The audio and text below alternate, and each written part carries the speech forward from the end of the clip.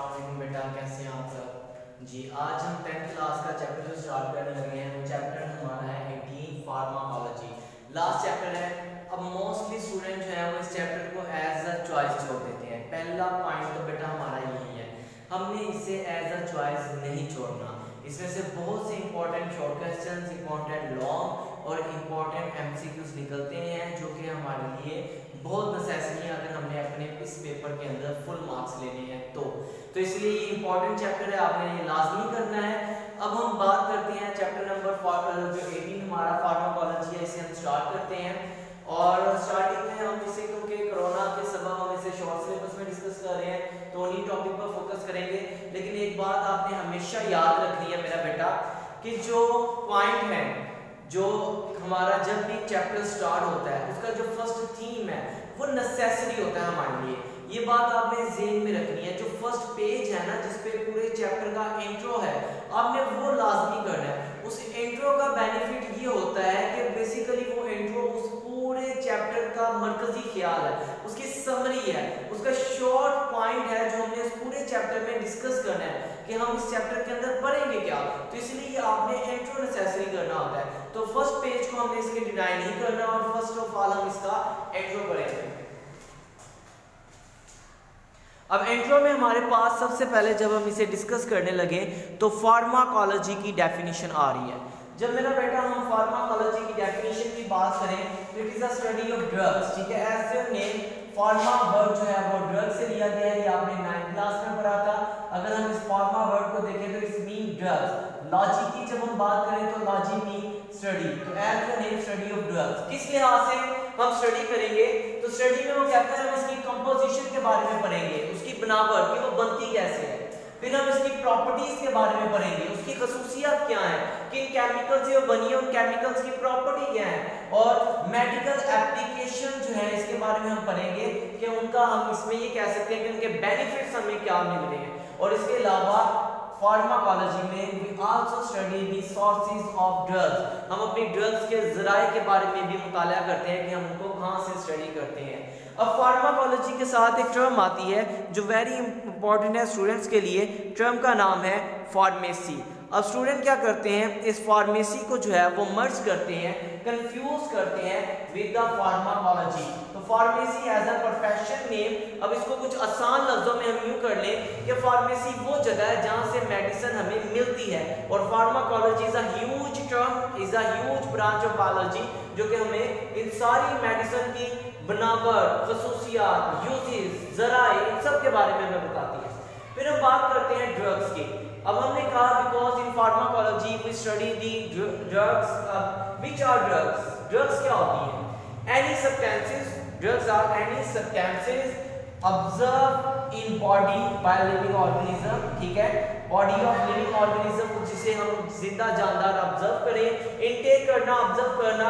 अब ज़ाहिर है ह्यूमन जो है, जब उसे अपने माउथ पार्ट के ज़रिए अंदर बॉडी की तरफ़ लेके जाएँगे तो वो उसे इनटेक करेंगे।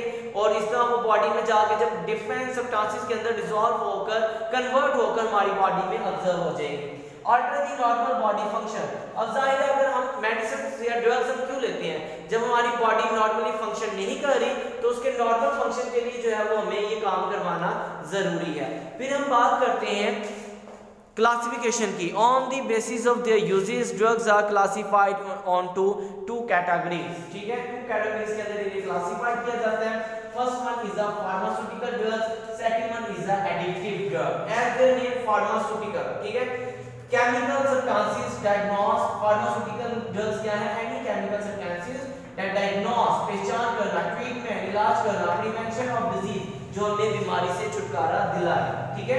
Addictive drugs addictive drugs as their name addict जो कि हमें आदी बना दे जिसकी हमें लत लग जाए तो addictive drugs make person depend on them जिसके ऊपर एक इंसान का इंहसार हो जाए ठीक है, और उसके बगैर उसका गुजारा मुमकिन ना हो उसकी बॉडी नॉर्मल या वेल फ़ंक्शन ना कर सके विदाउट दिस एडिक्टिव ड्रग तो ये एडिक्टिव यानी कि जो नशा आवर हम कह सकते हैं, ये ऐसी अद्वियात, अब इसमें ना बहुत सी चीज़ें आती हैं।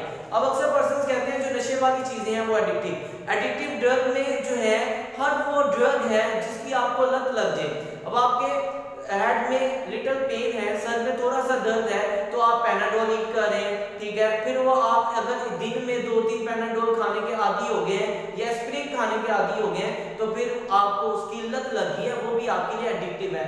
इसी तरह मेरा बेटा, अगर आप डिप्रेशन का शिकार है हाइपरटेंशन है, ठीक है?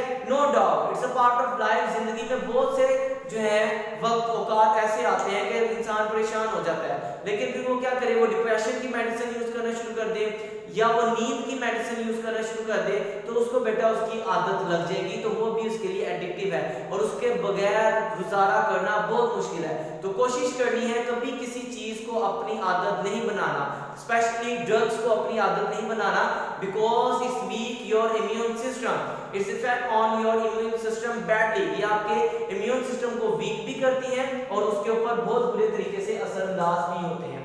नेक्स्ट जो है, एक इंपॉर्टेंट बात आ रही है। एक important short question with plus MCQs और वो क्या है? वो बात करते हैं हम इसके अंदर, जो कि फ़र्स्ट में स्टार्ट हो रहा है। वर्ड एक इंपॉर्टेंट वर्ड है, इसको मैं जूम करके दिखाऊँ तो मेरा बेटा ये है वर्ड मैट्रिया मेडिका 1890 में वर्ड टर्म फार्माकोलॉजी बेसिकली जिस नाम से जानी जाती थी, उस नाम को हम कहते हैं मैट्रिया मेडिका उसके बाद बात आती है इंपॉर्टेंट शोर क्वेश्चन की, जो एज अ डिफर आ जाता है बोर्ड के अंदर तो हम उसके बारे में बात करते हैं. और शोर क्वेश्चन है मेरा बेटा prescription and non prescription drugs as a बेटा, आसान सी बात बताऊँगा, जब भी आप मार्केट में कोई चीज़ लेने जाते हैं, जो पैक्ड होती है, एक तो होती है ना लोकल चीज़ें जो हमें मिल रही है, वो नहीं, जो इंपॉर्टेंट पैक चीज़ें हैं लाइक आप कुछ मेडिसिन लेने जा रहे हैं, आप कहा था कि मिनरल वाटर की भी बॉटल लेके जाए, उसके ऊपर ना, उसका एक स्टिकर सा लगा होता है, उसके ऊपर उसकी डिस्क्रिप्शन दी होती है।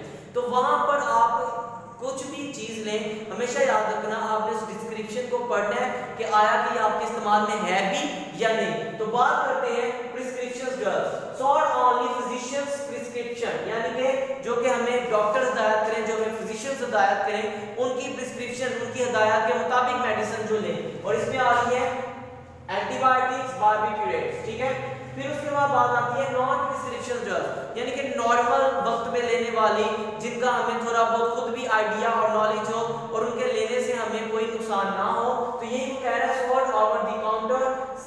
बिकॉज़ इनफ ये बहुत सेफली होंगी लाइक एस्पिरिन आसान सी मिसाल दो पैनाडोल जैसे आप यूज़ करते हैं as a source of painkiller ठीक है? यानी कि आपको पेन है, आपने हेड में, सर में दर्द है, टांगों में